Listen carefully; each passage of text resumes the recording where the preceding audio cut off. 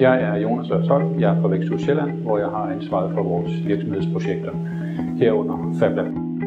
Der er to muligheder i FabLab. Den ene er, at der er mange flere, der laver deres ting til dem selv. Det er sådan en selvstændighed, hvad enten det er som almindelige borgere i samfundet, men også, der er også den mulighed, at der er mange flere øh, virksomhedsmuligheder, når selve produktionsudstyret er lige om hjørnet, øh, både fra design til som konkret prototype.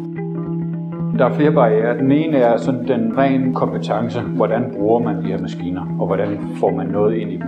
Øh, det, det er sådan en konkret kompetence. Den kan man jo løse ved uddannelse. Det gør de allerede, og der findes folk, der kan det. Den anden er måske sådan mere en, både en kulturel, øh, samfundsmæssig udfordring, at hvordan lærer man folk at være kreative? Hvordan lærer man folk at handle på muligheder osv.?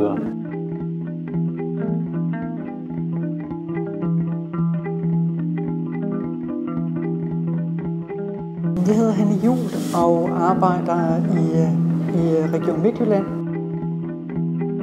Rigtig mange af de virksomheder, vi har arbejdet med, de ser et kæmpe potentiale, og de ser også en kæmpe innovationskraft i at arbejde med cirkulær økonomi, fordi den faktisk giver dem nogle, øh, hvad skal sige, nogle dogmeregler at innovere indenfor når man skal lave et paradigmeskift fra en lineær produktionsform, hvor det handler om at producere, forbruge og smide væk, til en cirkulær produktionsform, hvor man skal lave en systemopbygning i forhold til at, at ligesom bevare ting i øh, materialer og ressourcer i lus, så kan man ikke have en grænse, der Region Midtjylland. Så er man nødt til at samarbejde nationalt og med andre, også internationalt.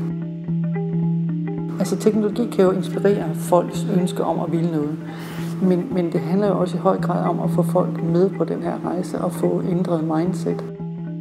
Bruge midlertidigheden i forhold til makerspaces og se, jamen, kan de her steder være med til at løfte den her dagsorden.